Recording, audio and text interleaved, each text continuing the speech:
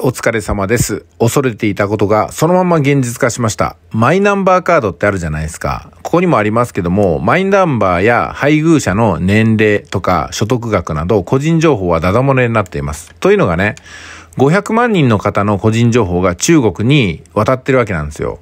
で、これはですね、禁止されてる再委託っていうのを株式会社正規格っていうところがやってるんですよね。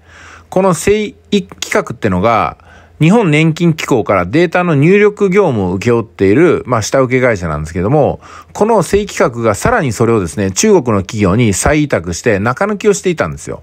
中抜きをするようなこともせこいんですけども、中国の業者にその情報が渡るってことは、当然そのデータっていうのは中国共産党に渡ってるわけなんですよね。この一連の流れを、この国内できちんと一気通貫でやってるところに、このマイナンバー制度の恐ろしさがあるわけなんですよ。ね。2万円のマイナポイントなんて安いもんですよ。だって2万円のマイナポイントをもらった挙句私たちは根こそぎにされるわけですから。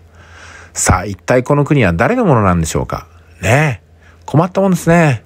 少なくとも6万7千人、所得税控除を受けられず、本年より、来年より、本年より少ない年金しか受け取れないような時間ということで、えこの会社はコメントできないってさらに 言ってますね。コメントできないでしょ。恥の上になりますからね。まあ、口を拭って知らんぷりってことですよ。この株式会社正規格、東京都豊島区東池袋14810、このビルの1101号で、えー、ここに代表の名前が書いてますね。資本金5000万、14円80名。うーん。調査中なのにコメント差し控えて、調査が終わってもどうせコメントしないだろう、この野郎。ね、こんな感じでございますね。